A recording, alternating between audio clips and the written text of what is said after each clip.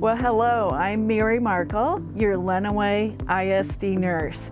And I've been asked to talk to you today about these wonderful large blue totes that have been handed out to all our great itinerant staff as well as our uh, classroom staff. And I want to just kind of walk you through what the contents of the tote are and maybe some tips for how to use the equipment. Let's take a peek in here. And in each tote, we will have uh, a box of single-use face masks for adults. Essentially, what we're doing when we wear these types of masks is we're protecting others, maybe a little bit more than we're protecting ourselves. Wearing a mask like this is considered source control. So what these masks do is uh, trap the larger particles of droplet nuclei that we exhale, and that's a, a big phrase, and basically that just means little tiny uh, water droplets that we exhale that pathogens, including the COVID virus, can hitch a ride on. And use of a face mask will trap those larger particles. So that's why it's so important that we all do our part and wear the masks. Again, single-use masks, um, you want to pitch it appropriately when you're done. And you might be wondering, well, where is an appropriate place to pitch it?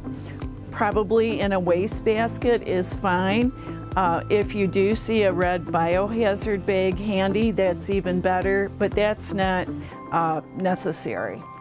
Also included in the tote would be some single-use masks that are sized for children. And um, these are really nice masks. The box says right on it, three layers of protection.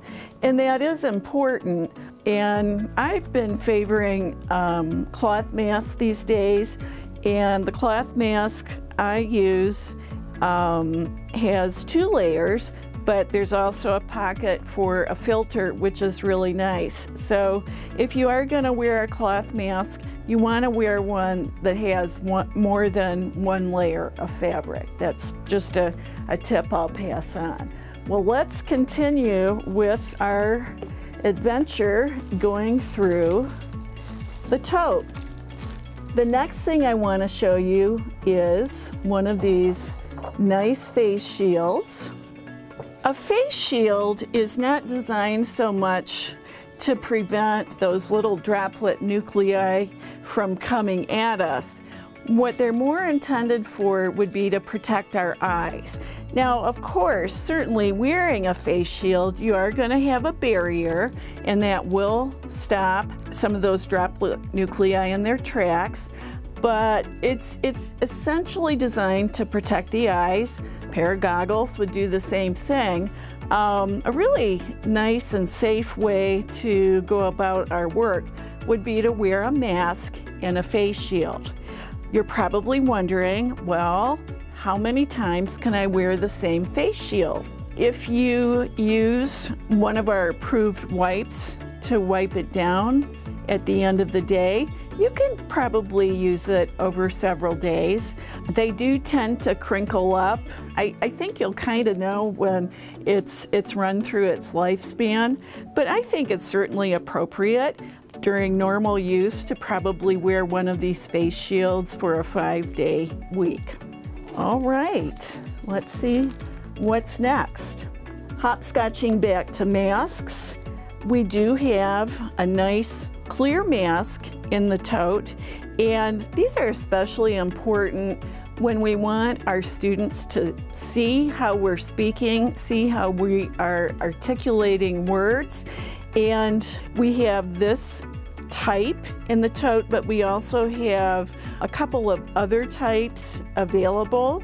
And if you would like to peruse the other types, just give me a call or shoot me an email. I'll let you know what my contact information is at the end of this presentation.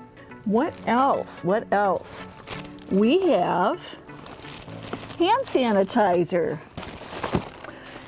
And we have one bottle of this nice liquid hand sanitizer. Um, I have gazillions, uh, maybe not gazillions, uh, but I have lots and lots of bottles of this. Um, it is one of our approved sanitizers. It doesn't seem to be too tough on the skin. I think it is a nice, a nice product. It's called a uh, antiseptic hand rub. And the large object we have in the tote, this is really nifty. This is um, a screen that's reusable, very handy. And again, this can be wiped down with one of our approved wipes.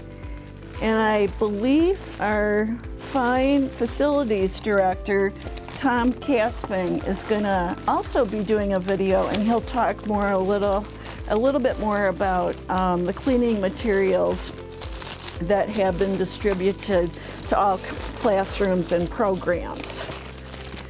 Let's see, what else do I have in my bag of tricks? I have some stylus.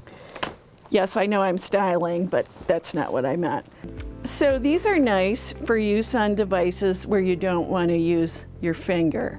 Um, I would recommend that you wipe it down after each time you use it and the bag does have a couple of these enclosed.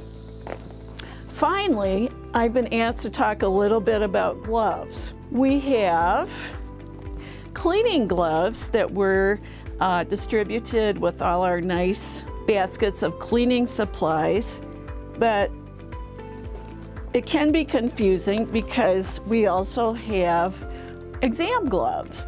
And so I would encourage you to use the cleaning gloves just for cleaning and use the exam gloves for any work you're doing with students or um, other folks where you want to have that layer of protection. I have, uh, the past years, only ordered latex-free gloves.